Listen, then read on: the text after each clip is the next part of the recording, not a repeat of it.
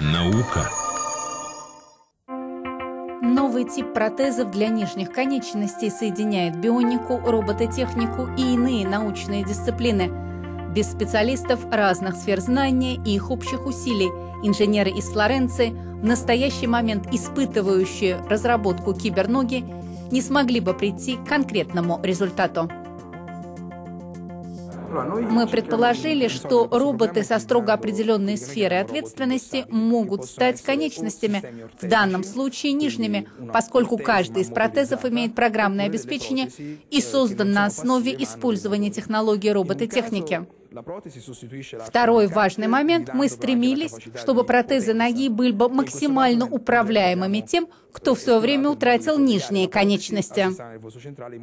Поэтому мы сумели соединить протезы и нужные для движения отделы головного мозга протезируемого. Способ передвижения для него мало чем отличается от того, что используется обычным человеком.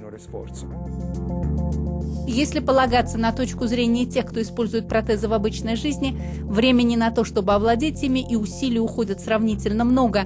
Для разработчиков новых киберпротезов важным стало иное обстоятельство. Они были намерены сделать так, чтобы с первого мгновения протезы ощущались бы как собственные ноги.